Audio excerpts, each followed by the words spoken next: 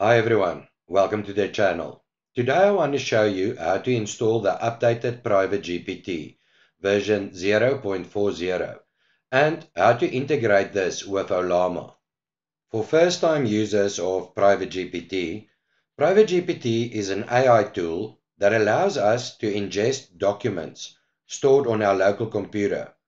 The program will ingest your documents and using AI and large language models Private GPT will allow you to query and interact with these ingested documents.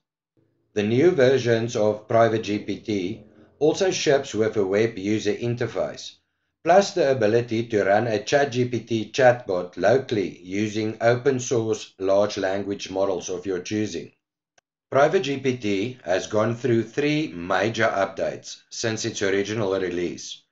Have a look on our channel at the first two iterations of Private GPT. The original version of Private GPT was a nimble and fast tool that you could use to chat with your documents. Its limitation was it could only be used from the command line.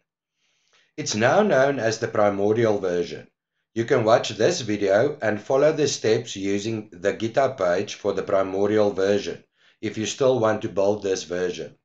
The project then received a massive update, including a web GUI and the chatbot capabilities added. But this version was very complicated to build and GPU offloading for AMD and NVIDIA cards was difficult to get set up and working. The latest version of Private GPT now allows you to offload all those complexities of managing the large language models and the GPUs to a third party of your choice, like Ollama. I think this is a great move in the right direction. It simplifies the install, removes complexities, and allows for a general better install and operating experience. Now let's set up Private GPT with Ollama on Windows. If you have not worked with Ollama yet, I would suggest looking at this video. This video will show you how to install Ollama on Windows and here I unpack the commands available in Ollama. To get Ollama up and running for Private GPT, visit ollama.com and download the Windows installer. Install Ollama and when the installer finalizes, make sure that you can see the Ollama service up and running in your taskbar. Let's first confirm that Ollama is working. Open a command prompt and execute the command Ollama and the Ollama command should return a list of all the available commands in Ollama. You can now go ahead and download a model to use for Private GPT. We'll download the Mistral model. Execute the following command, Ollama pull Mistral. Now that we successfully downloaded the Mistral model, let's install the embeddings. Execute the following command, Ollama space pull space nomic dash embed dash text. And now that you have the Mistral model and the embeddings, you can just make sure Ollama is running by executing Ollama space serve. With Ollama up and running, we can now move on to installing Private GPT and its required software. First, download Git for Windows. Next, download a version of Python 3.11 it's important to use the correct version of Python here. Grab a copy of Anaconda. We're going to use this to run Private GPT in its own environment. And lastly, download a copy of Visual Studio Community Edition. And now that we have all the software downloaded, first install Git and you can accept all the defaults. And now that we've got Git successfully installed, let's install Python 3.11 and when the installer launches, make sure you select this checkbox to add Python to your path. Then go ahead, install Python. Now with Python successfully installed, let's move on to Anaconda. I'm going to go with the default options detected by Anaconda, as you can see on the following screens. Now go ahead, install Anaconda. Now you are ready to install Visual Studio Community Edition run the installer, and when presented with this options dashboard, ensure you select Desktop Development with C++ and the Universal Windows Platform Development. Click on Install. When the installation completes, it will launch Visual Studio. You can skip registration, choose your theme, let Visual Studio launch, and afterwards close it, as well as the installer when everything is complete. Visit the Make for Windows website and click here to download the setup program for Windows. You can install Make and you can accept all the defaults. You need to find where you installed Make and find the Make executable.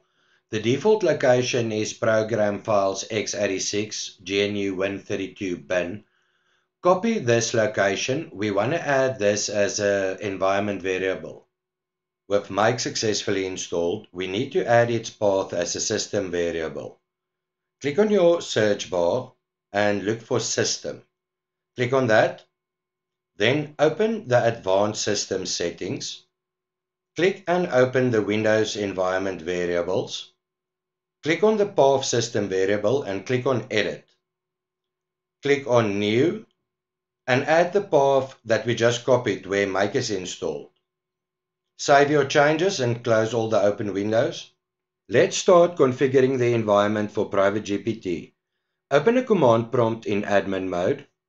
Now you want to run the following commands in a command prompt. The first thing we want to do is upgrade pip. Go ahead and execute the following command. Python space dash m space pip space install space dash dash upgrade space pip. Go ahead, execute this command and upgrade pip. Install pipx. We need this to install Poetry. Execute pip space install space pipx. And now we can utilize pipx to install Poetry. Execute the following command. pipx space install space Poetry. You have to execute the following command to add the install to your path. Execute pipx space ensure path.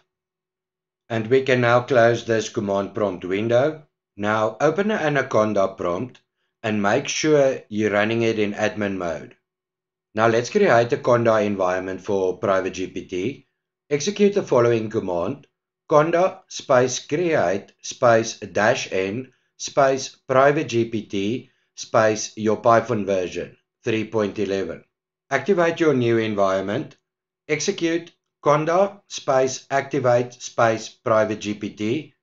And if your environment activated successfully, it should show private GPT in brackets. Now we need to create a project folder for private GPT. I'm going to change directory into the root of my drive. Now I'll use the make directory command to create a project folder. In my case, I'm going to call it pgpt. Now let's change directory into the project folder we just created. We're now ready to clone the project. Now, before you clone the repo, again, make sure the environment is activated, that you're in the project folder you just created. Then go ahead and execute the following git clone command. When cloning the repo, Git will create a new folder called PrivateGPT. Enter that folder, otherwise the following commands will fail. Visit the PrivateGPT install documentation and go to the Ulama section. We want to copy this Ulama install command and this will install and configure PrivateGPT for full local Ulama support.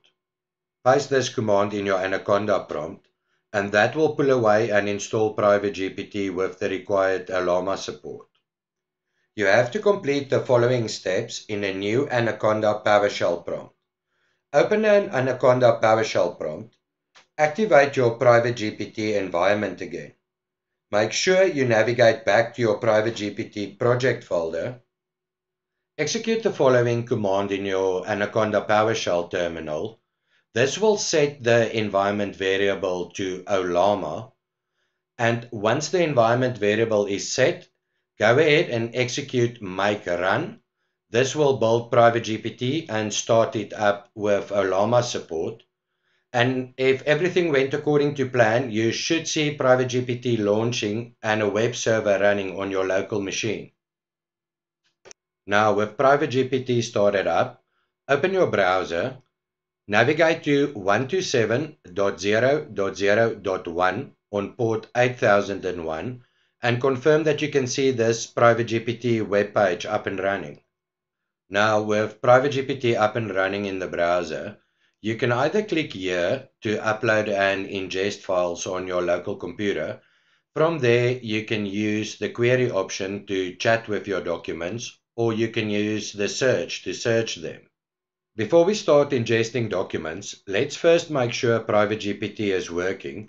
I'm going to click on the LLM chatbot, and I'm going to ask it to tell me why cybersecurity is important for a business in no more than 20 words. And there you have it, a short and concise answer on why cybersecurity is important straight out of the Mistral LLM. You should now have a working private GPT and fully integrated with Ollama. You can now ingest and chat with your documents or use the chatbot to your heart's content.